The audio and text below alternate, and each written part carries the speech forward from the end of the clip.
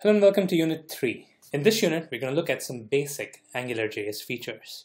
In the last unit, we looked at how Angular solves the MVC problem and we actually set up a simple Angular application. In this unit, we're going to explore some of the basic features of Angular a little bit more. There are some features that we get out of the box, like we saw with ngIf. So we're going to see what we can do with some of the out-of-the-box features and the kind of functionality that we can build into our client applications. So we'll start by looking at some of the Angular directives that we've already covered. So the directives we covered were, we start with ng-app, right? ng-app is a, a directive that comes out of the box with Angular, and it helps to auto bootstrap an Angular JS application. This is how you actually tell Angular that this is an Angular JS application. Just adding the Angular script into your HTML will not do.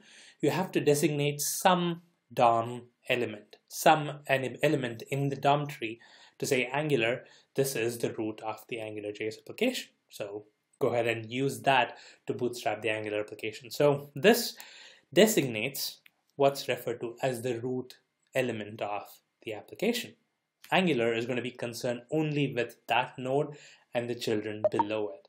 Anything that you add outside the node, either on a different branch or above it or whatever, will not be affected by Angular right?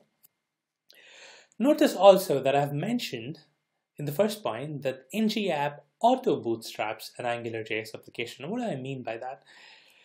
There is a bootstrap process that you need to do in order to bootstrap, in order to kickstart an AngularJS application. You don't actually have to do this if there is just one ngapp in your page. That's what happened, right? We just had one NG app and we didn't do any bootstrap process. Things just worked out of the box. That's because there was just one NG app. If you have more, it'll still work, but you're gonna have to do a manual bootstrap, right? So you can have multiple NG apps, you can have multiple Angular applications per page. But once you have more than one ng app, Angular will not know which one to bootstrap and in which order. So you're to have to do a manual bootstrap. I'm not to cover manual bootstrap at this point. You can actually look it up if you're interested. But let me tell you, I have been coding in Angular for like a couple of years now, and I've never once had to do a manual bootstrap. It's a very rare situation. Most of the times you're to have just one HTML and one Angular app in that HTML, right? Okay, so that was the first directive we learned. What was the next directive? We learned about ng-init. ng-init is a directive that you use to create initialization logic, right? You create initialization code that executes when the page loads, when the Angular application is bootstrapped and it hits that ng-init directive. Uh, you can use this to evaluate expressions. We did evaluate expressions, right? We created a variable called r of t and we assigned a value to it. So you can use this, uh, you know, you can use ng-init to do that. Uh, but now that I've told you what ng-init is and what you need to use it for, let me also tell you not to use it. It's not best practice. I used ng-init as a very convenient way to demonstrate executing a piece of logic uh, in your Angular application, but this is just for demonstration purposes. We are never ever going to be using ng-init again in this course there's probably just one valid use of ng-init and that's inside a loop which I'm going to cover later.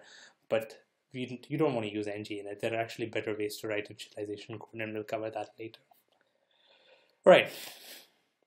The third directive we used was ngIf it's kind of like an if condition in your code. You could selectively show or hide certain elements in your application. More accurately this selectively removes or recreates portions of DOM based on an expression. Right? You assign the ngIf attribute to a particular DOM element. Angular evaluates the expression of that ngIf, figures out if that's a true value or a false value, and depending on that, it either adds that element to the DOM tree or it just removes it from the DOM tree. All right, so that's the key here. I'm placing focus on this because of what's going to come up in the future. I'm going to have to contrast that with this. But this is what happens with ngIf. If the ngIf expression evaluates to false, remember that Angular just removes that element from the DOM tree. It doesn't even exist in the DOM tree. Once that expression evaluates to true, Angular is going to put that put that node back into the DOM tree.